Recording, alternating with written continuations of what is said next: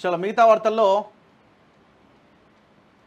ఆంధ్రజ్యోతిలో ఇగో dirty picture గుట్టు రట్టయింది. Prajwal driver వల్లే అట.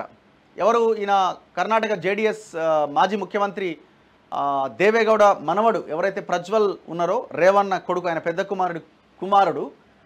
సో దాదాపు ఆయన పెన్ డ్రైవ్లో మహిళలకు సంబంధించిన మూడు వేల అశ్లీల వీడియోలు ఉన్నాయట. అది బయటకు వచ్చింది అయితే ఆ వీడియోలు ఎట్లా బయటకు వచ్చినాయి అన్న దాంట్లో విచారణ చేస్తే ఆయన దగ్గర దాదాపు పదిహేను సంవత్సరాలు పనిచేసిన డ్రైవరే బయట పెట్టిండట.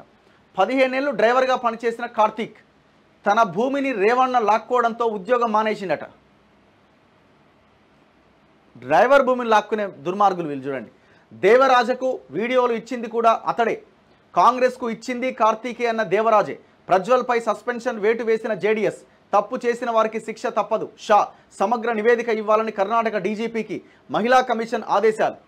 ఇరవై నాలుగు గంటల్లో విచారణకు రావాలంటూ రేవಣ್ణ ప్రజ్వల్కు సిట్ నోటీస్ అట.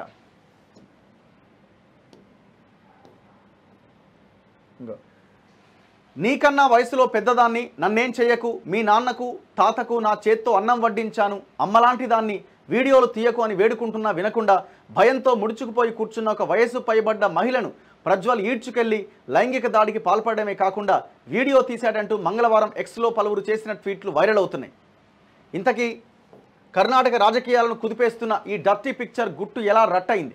ప్రజ్వల్ తన ఫోన్లో తీసుకున్న వీడియోలు ఎలా బయటపడ్డాయి? అనే ప్రశ్న అనే ప్రశ్నలకు సమాధానం దొరికిందట. ప్రజ్వల్ కుటుంబానికి పదిహేనేళ్ళ పాటు డ్రైవర్గా ఉన్న కార్తీక్ ద్వారా ఈ వీడియోలు బీజేపీ నేత దేవరాజగౌడ వద్దకు చేరుకున్నాయట.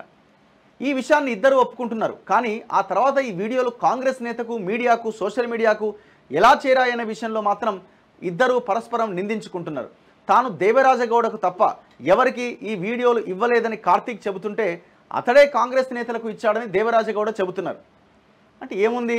వీళ్ళు వాళ్ళని మూసేయడానికి ఇంకోరికి ఇచ్చుంటారు. ఈ పొలిటి పాలిటిక్స్లో అంతా ఒకటే కదా. ఈ నేపథ్యంలో కార్తీక్ మంగళవారం ఒక వీడియో విడుదల చేసిండు.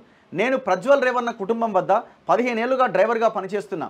అయితే నా పేరిట ఉన్న కొద్దిపాటి భూమిని రేవన్న కుటుంబం లాక్కొని నన్ను మానసికంగా నా భార్యను శారీరకంగా వేధించారు. దీంతో ఏడాది క్రితమే వారి వద్ద పని మానేశా. ఆ తర్వాత వారిని వారి వారి మీద కేసు పెట్టడానికి ఎంతగానో ప్రయత్నించా. ఆ సమయంలోనే నేను బీజేపీ నేత దేవరాజగౌడను కలిశాను. నాకు సాయం చేస్తాను అని ఆయన హామీ ఇచ్చారు నా వద్ద ఉన్న వీడియోలు తీసుకున్నారు. ఆయనకు తప్ప నేను మరెవ్వరికీ ఆ వీడియోలు ఇవ్వలేదు. కాంగ్రెస్ నేతలకు ఎవరిచ్చారో నాకు తెలియదు అని చెబుతూ సోషల్ మీడియాలో ఒక వీడియో విడుదల చేశారు. దేవరాజగౌడను నమ్మితే ఆయన తనను మోసం చేశారని వాపోతున్నారు. మరోవైపు దేవరాజగౌడేమో ఈ వీడియోలు బయటపడితే తమ కూటమికి దెబ్బ కాబట్టి ఆ పని తానెందుకు చేస్తానని ప్రశ్నిస్తున్నారు. డ్రైవర్ కార్తీక్ నుంచి తీసుకొని కాంగ్రెస్ నేత శ్రేయస్ పటేల్ ఈ వీడియోలను బయటపెట్టారని ఆయన ఆరోపిస్తున్నారట. ప్రజ్వల్ పైన వేటుపడ్డది. ప్రజ్వల్ వ్యవహారం ఎన్నికల్లో తమను దెబ్బతీసే ప్రమాదం ఉండడంతో జేడీఎస్ ఆయనపై క్రమశిక్షణ చర్యలు తీసుకున్నది. ప్రజ్వల్ను సస్పెండ్ చేస్తూ పార్టీ కోర్ కమిటీ తీర్మానించింది. మరోవైపు జేడీఎస్తో పొత్తు నేపథ్యంలో ప్రజ్వల్ రాసలీలల వ్యవహారంపై బీజేపీ వైఖరి స్పష్టం చేయాలని కాంగ్రెస్ నాయకురాలు ప్రియాంక పలువురు కర్ణాటక నేతలు డిమాండ్ చేశారు. సో ఇట్లా ఈ వ్యవహారం నడుస్తూ ఉన్నది కర్ణాటకలో.